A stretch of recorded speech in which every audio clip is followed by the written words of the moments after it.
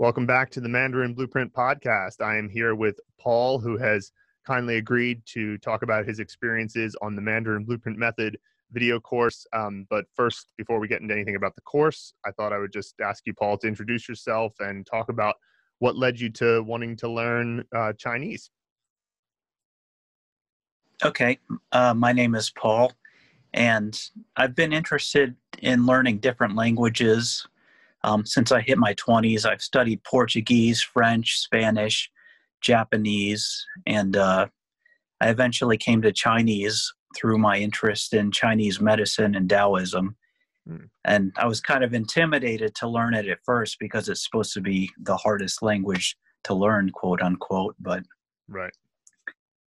Yeah. But I think it's not that difficult. I found, and I've been surprised at how easily I've been able to do it through the Mandarin Blueprint program. Right. Yeah. Yeah. I think the Chinese, the the hardest parts about it are kind of in the beginning, but once you sort of establish your foundation, uh, you realize that most of the uh, the way the language is structured is actually quite logical. So, because uh, it's less, um, you know, English has so many different sources that sometimes uh, you know, this, uh, root languages. You know, you've got uh, Nordic, you've got uh, Germanic, Latin, uh, mm-hmm. French. Uh, there's all sorts of different root languages, so it can make the sort of structures of the language and the grammar feel very um, all over the place sometimes. Whereas Chinese is a lot more unified. So when it comes down to, um, you know, you you see like a rule or or a, a, a con- there's a lot more consistency. Let's put it that way. So you can have a when you see an exception to a rule, it's actually quite surprising. You're like, oh wow, that's an you know. Whereas in English, there's exceptions all over the place. The whole language is it's a language right. of exceptions. So, um, mm-hmm. so cool. That's that's good to hear. So what um, so when you so you were interested in Taoism uh, and you're interested in um, I'm sorry, you said Taoism and uh, my I, I forgot the other thing you said. Oh, uh, Chinese medicine a little and, bit. That's where I got my interest kind of started. Yeah, you know, my uh, just on a personal note, my opinion has really changed on Chinese traditional medicine. Uh, you know, when I first came to uh, China, I was very much, you know, of the camp of, you know, what do you mean Chinese medicine isn't medicine just medicine? And I and I do think that there is yeah. um, there's something to be said for that line of thinking. But I've sort of come to understand that Chinese traditional medicine is almost it's almost better to think of it in more like by analogy to nutritionism or like or sort of um, a nutritionist you know in the sense it's not exactly the same but there's sort of that type of it's more pre- preventative in nature it's meant to be like if you do these things then you can potentially uh, avoid uh, you know feeling feeling ill at ease or just feel you know it's like don't use chinese traditional medicine right. for trauma you know if you're in a car accident use western medicine but like yeah. if you're uh, yeah. trying to just you know you're you don't want to have uh, feel as ill at ease as much, you know, you can try some Chinese traditional medicine. So, what what got you interested in that in the first place? Well, I had a good buddy that was having uh, bad pain, and he went to an acupuncturist, and it mm. worked wonders for him. Took all the pain away, and he said, "I'm going to bring you with me." So I went with him, and I made friends with the acupuncturist. Started talking to him. He introduced me to some reading material, and I started taking a few classes from there, and the interest just grew. Right, right. And is that what led to your interest in Taoism? Yeah, yeah. I figured I'm studying the medicine, and we're getting a little bit of, you know, the yin and the yang and the Chinese cosmology. And if mm-hmm. I want to learn the medicine, why don't I just go straight to the source and learn the Tao? Yeah, yeah yeah, being in Chengdu, we're very close to the uh, the birthplace of Taoism in uh, Qingchengshan. Mm-hmm. I've been there many times. Yeah. And uh, yeah, yeah, the Taoism is affiliated that. Yeah. Yeah, yeah.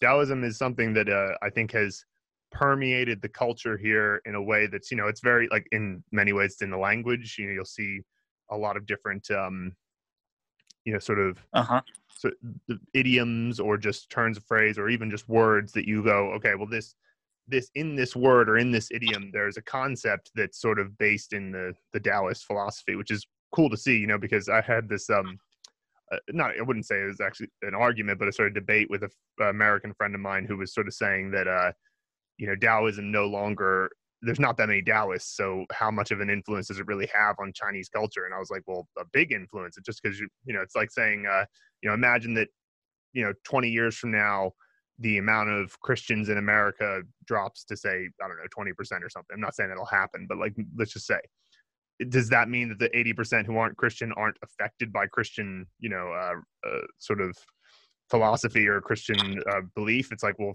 of course it still would be because it's like generations of culture will still affect the um, you know the descendants. So yeah. that's something I've noticed here a lot. So uh, just out of curiosity, what have been your biggest sort of uh, I, am genuinely just asking because I'm curious. Uh, what what uh what have been okay. your takeaways from your sort of not exactly uh, just you're looking into Taoism and sort of uh, what have you come to what wisdom have you taken away from that? I suppose.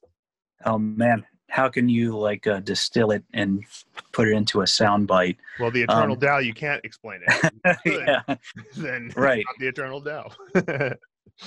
well, I, basically, it's just about whether life is good or life is bad. It's going to change. So mm-hmm. if it's bad, don't worry. If it's good, don't get too attached and just harmonize with whatever it is. Mm-hmm. Um, it's not external things yeah, it's not external things that bring you to ruin, but it's just you letting yourself get jerked around by those things. And that's probably a more practical point that I could distill from it. Yeah, yeah, that's uh, that's something I love. That little parable of the Chinese farmer, uh, where he's you know uh-huh. everything that happens oh, to him, he just says people are like, "Oh, what good fortune! Oh, what bad fortune!" Every time he's just like, "Maybe, you know, we'll see." Yeah, yeah, uh, that's an awesome parable. Yeah, yeah. Um, Cool. So let's um so let's suppose that you successfully learn Chinese and you're able to operate fluently and literally in the language. Uh, what will you do with it? Well, uh, I have fun with it for one thing. That's mostly why I'm learning is just for fun because it's mm. something I enjoy doing. Nice. But you know, I, I I might like to use it professionally. I imagine your company would grow and maybe I'll work for Mandarin Blueprint in the future uh-huh. or find some other company to work for. Yeah. That sounds yeah, uh-huh. that sounds pretty good. yeah, absolutely. Um that that's you know, it's I like that attitude because um you know that I think the truth of the matter is that whatever your goal is at the beginning, uh, the main thing is does it sustain you in continuing because uh, it's pretty unlikely that your original goal is going to necessarily uh, relate to what you end up using, but still, there's no right. doubt that adding that skill set to your um, you know resume is going to be something that you'll have use for in the future. whether it be um, you know directly like you got a job because of it or whether it's just because um, you're able to meet new people uh, who give you a connection or something like that you know there's there's all sorts of possibilities there. So um, that's you know it's if you're motivated by interest in the language and having fun in the language to begin with and then you're like well maybe it'll work out for something in the future uh, then that's actually probably the best attitude to have right off the bat you know?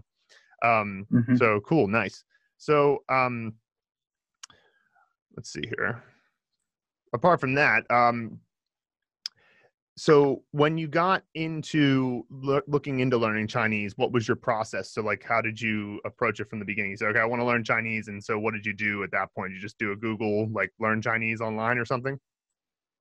Well i had experience using the pimsleur program for learning other languages and i really liked that program. Nice. so i just started with pimsleur and then from there i tried other apps. I tried duolingo fluent u um, I ordered books on Amazon. I started memorizing HSK lists and that kind of thing. Just I tried a bunch of different approaches, just trying to see what fit me the best and what worked the best. Mm-hmm. Mm-hmm. Yeah, yeah. How, and so, how did you experience? Um, I, I, I've we definitely heard a lot of people mention Duolingo. Uh, seeing that oh. first oh. before heading to us, and then uh, uh, we both used Pimsleur at one point. Luke a bit more than I did. Uh, for me, it, it, it, drove me crazy. I, I, didn't work for my oh. personality as well.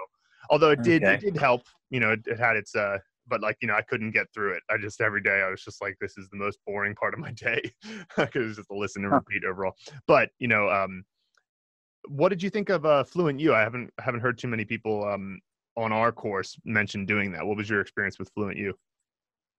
I like it better than Duolingo because it shows you a lot of videos and then if you like certain videos you'll just watch them over and over again and get mm-hmm. exposed to certain vocabulary what you guys call a top-down approach, hmm and then uh, they they also have SRS within their program, the spaced repetition software, um, but it's not quite as good as the Anki that I'm doing through Mandarin Blueprint.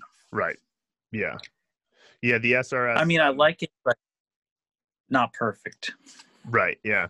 Yeah. Anki is um, you know, well, uh, we Anki is the most customizable SRS software out there, which is great. Um, you know, we Yeah. uh, it also sort of drives us crazy a little bit because you have to be uh, at a certain. It has a pretty um, high threshold of like sort of technological understanding to be able to use, which is frustrating. Uh-huh. You don't want that to be the thing that stops people from learning Chinese. And unfortunately, for some people, it's like Anki is too much of a pain.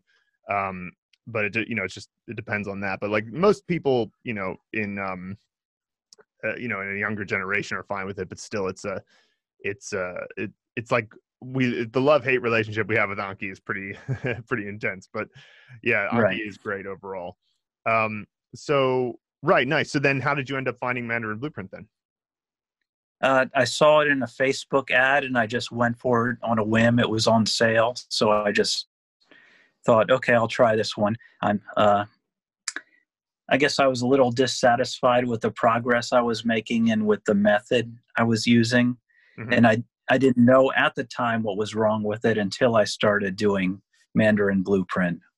Right, right. So, so yeah. So, tell me about that. How did that um, sort of? What was it about when you started doing Mandarin Blueprint? What was it about it that made you realize, okay, this is going to be different and work a little bit better? Well, I'd been doing um, Pimsleur for about a year and a half. And when I first started your pronunciation course, I learned so many things that I didn't even pick up on with Pimsleur. If I Mhm. would have continued Pimsleur for another two years, I don't know if I would have picked up on all the pronunciation tips that you guys give and how to go into the nuances of that. So that was the first thing I Yeah, yeah. Luke does such a good job in that course. Uh, I was, you know, I learned a bunch of stuff from Luke when I was editing the videos. I was like, oh, this is a, you know, he did a great job. So that's um, that's not surprising to hear. So yeah, okay, that makes sense. So you so you saw the pronunciation mastery, saw Luke's good uh, explanations for everything, and uh, then you were like, okay, so that's that's pretty. You know, I mean, the pronunciation course is something we're still very proud of when we made that. You know, maybe two and a half years ago now, uh, and so that's great. Yeah. So then uh, you transitioned into the uh, phase one of the course with the character learning method. Mm. And, uh, you know, obviously that is a little bit weird if you're not used to uh, the, you know, nobody thinks I'm going to learn Chinese by imagining my, uh, my uncle in the bathroom, you know, shaving a ferret. so what, um, yeah, it was unexpected. yeah. So how did that, what was that experience like when you first started? Um, it didn't take me long. I did a few characters and I realized, okay, this is going to work. I'm going to Mhm. keep going with this. I'm going to be able to put in the minimal input to get out the uh, maximal output. Right. And it's before that, I was like memorizing HSK lists and I would just read characters over and over and pronounce them over and over again and just do it through kind of rote memorization Mhm. which I guess it has its merits if you're a child in China and you have all your life to study and learn. But for me, I picked up on your guys' method being like something that you could use to learn characters a lot quicker and memorize them a lot quicker. So like you got Yeah. you picked up on it pretty quick and believed in it pretty quick, which is good. That's a very important Yeah. element to it because Oh you know, skepticism. I totally I while I completely understand skepticism, it's like it does it can hold you back a little bit because you're like, well, you know, what is this about? Why would I imagine all these people and places and whatever?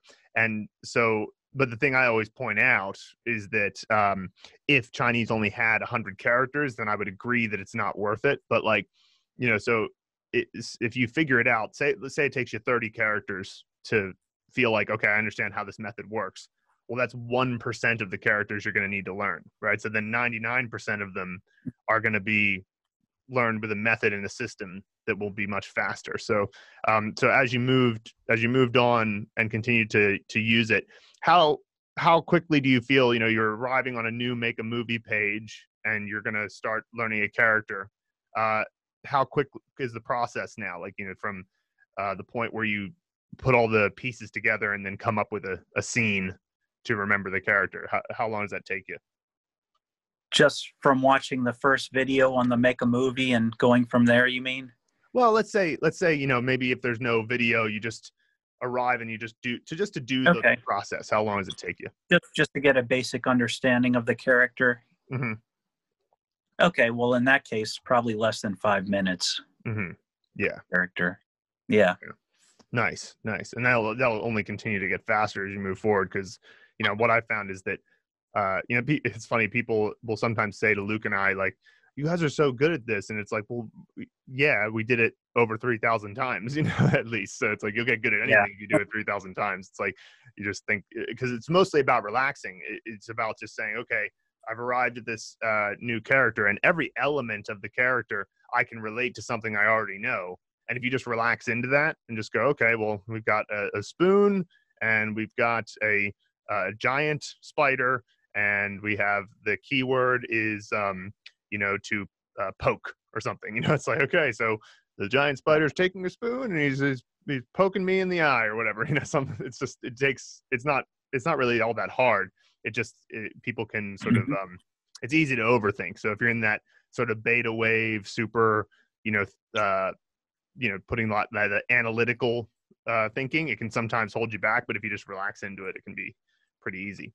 Um, yeah cool. So, so as you moved forward, so you're in level 17 now. So that means that you've now been Uh-huh. doing about five levels or so that have uh, that are putting together characters to create um, sentences. So what's that experience Yes. been like? well i i kind of have had experience with that already Mhm. because i've been reading the uh, mandarin companion storybooks Oh, which are very good resource. Um, so some of the sentences I, I read them, I'm like, oh yeah, I already know that. I can recognize that. Mhm. But I'm also learning new grammar rules that I haven't picked up on before. So it's it's been a good experience, and I feel like I'm learning with it. Mhm. Right, right. Yeah, so like yeah, so you've done some of the grammar point lessons. Those are relatively new. What, um, have Uh, those been helpful? Uh, yes, they have. Um, there's things that I've haven't picked up on on my own through my own studies with the grammar that you guys have made apparent. For example, the uh, differences between bourgeois and danshur and uh, kuyi or Mhm. kusher, yeah, those kind of things. yeah, yeah. That type of stuff. It's you know, it's um, we you know, as we always emphasize, the you know, if you do it. Actually, we just got a comment from one of our um, one of our s- students, Christine, where she said, "I really like how this grammar lesson explained." You know these sentences that I'd already seen because now they make more sense to me, and I was like, exactly, that's how it should go. It should always be like you've seen the sentences and maybe you didn't totally get it, but you sort of um, you know, went, okay, I can accept at least that this is the English translation and I'll move on. And then after you've seen like 10 or so sentences that are in a similar structure, then when somebody explains it to you, it's more like a light bulb going off as opposed to, Yeah, you know, if you've never seen any sentences with this structure and then I just introduce the concept, it's just sort of random and it doesn't have any kind of light bulb effect. It's just like, here's a bit of random conceptual information about how Chinese grammar works. And then here's some example sentences. It's not nearly as satisfying. And it also, I think it causes you to think too much because you're starting in the wrong, you're starting with the, the you're putting the cart before the horse. You're saying, okay, don't have any exposure to the language and then explain how it works. It's like that's never how language is going to be uh, acquired. So um, I'm glad to hear that you're you're finding those useful. Um, yeah, Cool. it makes a lot of sense to me that way. yeah, yeah, nice.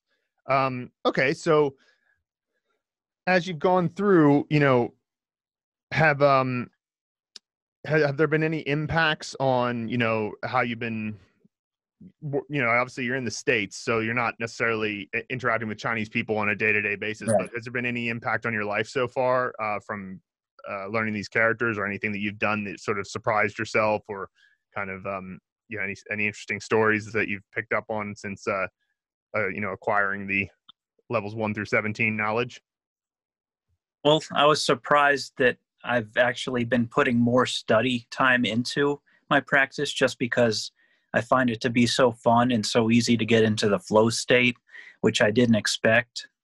And mm-hmm. it just kind of grew on me as I've done it more and more. And now I'll spend easily an hour a day studying, which wasn't quite my habit before. So that's mm-hmm. been surprising and and it's been a good thing. Right, right. Gotcha. Well, that's that. I mean, that's that's good. I mean, if you um, you know, study motivation, it's like I learned a lot from learning Chinese. You know, when I was a kid, I did learn drums, and I practiced every day on drums, and so I did oh, yeah. have that one thing that uh, I had in my past that I was really passionate about, and for years I just like practiced all the time. Um, and so I at least had that that thing there. But you know, with Chinese, it just occurred to me it was like, oh, this is you know, I'm never really going to stop doing this ever. I mean, obviously now I'm not practicing in the traditional sense. Like I don't feel like I'm sitting uh-huh. down to study. I just read Chinese, um, you know, throughout my day. Um, but it does That's make awesome. me improve and all that. And that's is eventually where everybody needs to get. But once I realized it was like, oh, this is never, this is just something that's become a part of my life. It's integrated into my day to day. That uh, is, you know, it's something I hope that I can trans uh, help transfer to other people to realize, you know, that's going to, um, that's going to be uh, the same type of if people can get that attitude and they can feel like okay every day is going to be just a little bit better just a bit little bit better than yesterday then you know i mean like it's only going to take it, we're talking in like the less than five year time frame which in the scope of your life is nothing like and then the rest of your life you have chinese as a part of your um you know uh, arsenal i suppose of skills. So uh, glad to hear that that's like that's great to hear as a as a curriculum creator knowing that you're feeling motivated to study is just like that's exactly mm-hmm. what we want so fantastic um, yeah, you guys right. do a great job Oh, thank you, thank you. Um, so, tell me about your experience of the community aspect of the course. So, we have you know comments below all the videos. We have the community oh. forum. You know, we have this thing where it's it's you know from our perspective, from Luke and I, it's really great because we get to um, have user generated content all over the place. So, uh-huh. um, how has that been for you? You know, going through the course, seeing the other people who are on the course. Uh, it's been good. Um, sometimes when I'm stuck for an idea for a scene, I'll read the comments in the community, and it jars something in my brain and gives me a good scene. Um, I've written down scenes on there too, and that helps me remember them better if I put them out on the uh, forum. Mm-hmm. And I've also asked you guys questions on the forum and found it helpful. You've gotten back to me very quick and answered my questions. So overall, that's been a good experience. Definitely adds to the program. Yeah, yeah, it's a it's been such a delight to us to see how that's developed because you know we're we didn't have any idea that, that would happen. We did we hoped we were like all right maybe people will comment and share their ideas and then people really got into it which is just i mean it's very it's like heartwarming to me because that nobody is doing it because they're basically doing it for other people. And i mean obviously it helps them a little bit to write it down sure like you're like you said i mean it helps them remember but it's like it's really great to see so many people sharing their uh their ideas. And uh, like you said oftentimes it's not that you use exactly their scene but it gives you a little trigger to an idea and yeah. you can, uh, you can go from there. So that's fantastic. Um, so how about, um, you know, it sounds like you weren't particularly skeptical, but was there anything you were skeptical about at the beginning and sort of uh, kind of didn't really believe in terms of our uh, like claims or you know what the course was like? Um, if anything, I was just I didn't expect much out of it when I bought the course and started doing it. I thought, okay, I'll try it, but it's probably not going to be anything special or anything like that. Mm-hmm. That was the real skepticism I had, just because it was something advertised on Facebook. Maybe mm-hmm. that made me a little more biased, but mm-hmm. yeah. Other than that, it's gr- it's probably the best course I found so far. It's just fantastic. Yeah, yeah, well, I'm glad to hear that. So, how about uh, how we could improve the course? I'm, I'm always we're always trying to you know find ways to sharpen the saw and make it better. So, uh, is there anything that you've run across and thought like, ah, this should be they could they could do a better job with this, or or something a feature that maybe you would like to have, or anything like that? Uh, yeah, there's a couple that I thought of. Um, I don't know if I can remember them all right now, but one thing I'm sure you guys have thought of it already too. But I think this should be expanded into learning other languages, hmm. um, maybe Asian languages such as Japanese, but really any language this could apply to. If Right. you guys are looking to expand your company in that way, I think that would be a definite improvement. Yeah, I mean, it's definitely a possibility in the cards. You know, I feel I feel very passionate about Mandarin, uh, teaching Mandarin and, and teaching Chinese. So like, we'll we'll Uh-huh. probably focus on expanding it to the point where we feel comfortable that anybody could use it to pass like the HSK six or something like that. Uh, but Right. said, oh, I guess it's now they just they just made the HSKs bigger, so the HSK nine, whatever it is, is going to be. Um, but uh, the still like with that I have thought of this, you know, I think that because Mandarin Blueprint hopefully is going to be, or or I should say, Language Blueprint perhaps um, is going to be something that we'll, you know, hopefully be doing for the rest of our lives. So then, you know, uh, down the Mhm. road, I think expanding to other languages could be really cool, and it'd be good that we started with the hardest one, and then, well, at least the Yeah, hardest one. yeah. But, you know, um, I think it's probably not the hardest in reality, but you know, it's uh, Right. still, yeah. Uh, cool. All right, that that's a good idea. Um, anything else? Um, I I don't know if later in the course if there's going to be a video material included. Um, Yes. You mean in, in what way? like uh, um watching like chinese television or chinese uh music videos or commercials or things like that to try and Mm, make sure that you really grok the language right. Yeah. Yeah. I think. Well, you know, we have um in phase four. You'll see in a few levels coming up. We have some uh original content that's graded to your level. But I was thinking about Okay. this actually for um.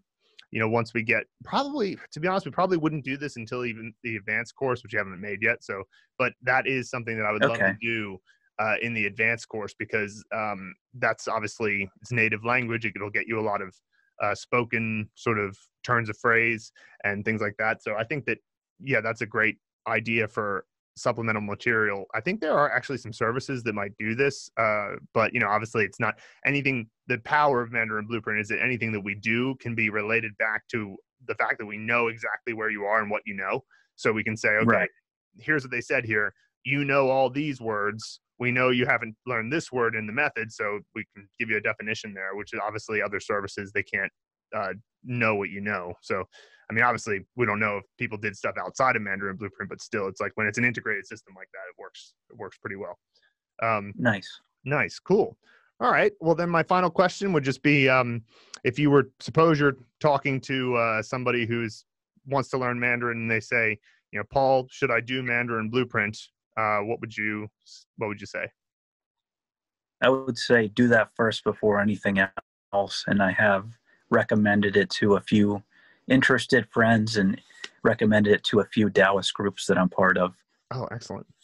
Nice. yeah Cool, cool. Well, thank you so much for your time today, Paul. I, I, is there anything else that you would like to uh, talk about or mention before we sign off for the day? Uh, no, just thank you for the interview, and I'm happy to help you guys out. I'd like to see your company expand, and I'm sure you will. With how good the product is, I'm sure that you'll be a big company in a few years.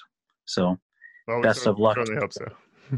yeah, Fantastic, Paul. Well, thank you. And uh, if anybody's interested in checking out more, just head to mandarinblueprint.com uh, to learn about everything that you can use to learn Mandarin through the Mandarin Blueprint method. So, uh, thanks so much, and we'll see you guys next you. time. Bye bye. 谢谢你观看我们的这个视频。If you found this video valuable and you'd like us to help you reach fluency and literacy in Mandarin Chinese as fast as possible without all the headache of traditional learning methods, just head to mandarinblueprint.com to learn more. Also, don't forget to hit the subscribe button and the bell below to be notified every time we release a new video. And of course, 保重